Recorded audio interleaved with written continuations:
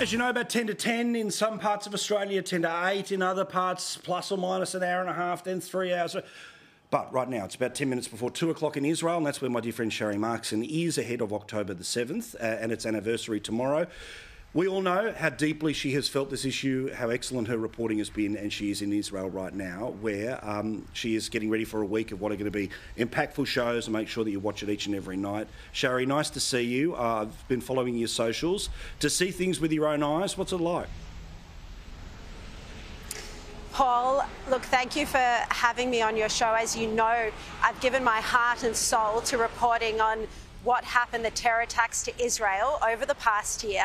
But being here in person, and I spent the day yesterday at the kibbutzim and at the site of the Nova Music Festival, and actually speaking to people face to face, holding friends, giving them a hug, holding them in your arms who watched their best mates be shot and die right next to them, young women at the Nova Music Festival this brings the reality of the war and why Israel is in a war, why it's fighting to bring home 101 hostages who are still in Gaza. It brings it all home.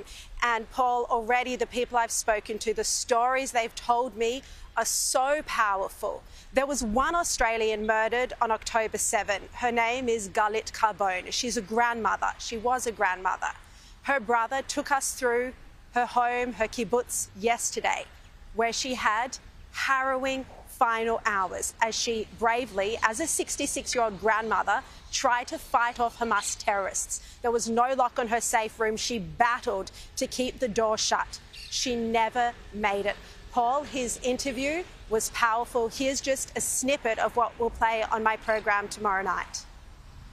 It was all around 6:30. I was already on my bike on my way out for my morning bike ride and then there were the rockets. The rockets uh, came down really heavily, uh, way more stronger than the usual ones that we so, so to speak used to.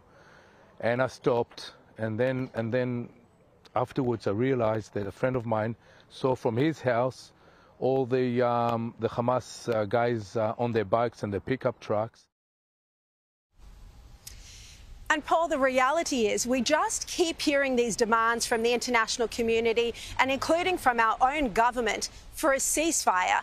When you walk through the streets of the kibbutz, you see the burnt out, destroyed houses. You see a pink little girl's bicycle laying on the ground. You hear the stories of the 10 month old twins who were shot dead.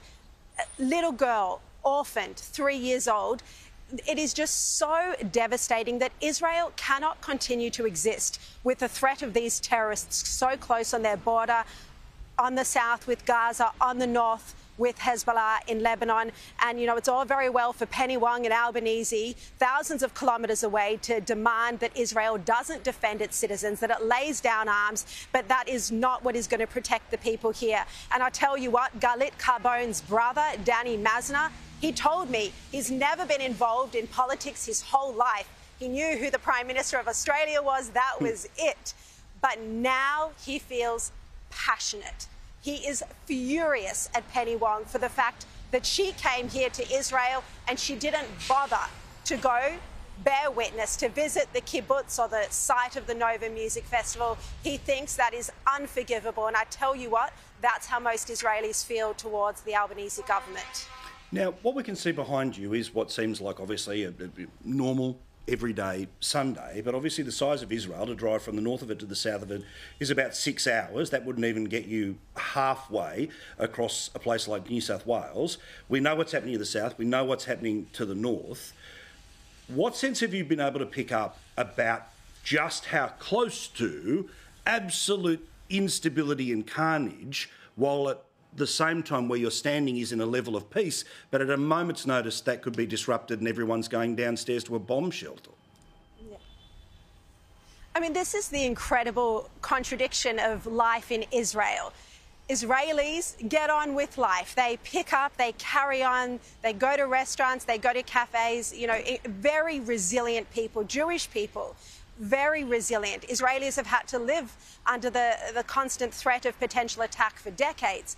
Yet, at the same time, what happened a year ago has shaken Israel in an unprecedented and unimaginable way. People are broken. You barely meet anyone who hasn't been affected by those terror attacks.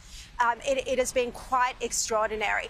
And yes, so at the same time, people get on with life, but everybody has on their phone, and I've now got it as well, um, an app. So whenever there's a rocket siren, you get a notification. And I tell you, Paul, it pings all day long. Wow. And if you're in that area, you've got to get straight down to a bomb shelter if you can. And the communities in the north, you know, the media doesn't care to report that 80,000 Israelis have been displaced from their homes because of the threat of Hezbollah near the Lebanon border. So this is, you know, a community that's that's very affected, very aware of the situation, but life goes on.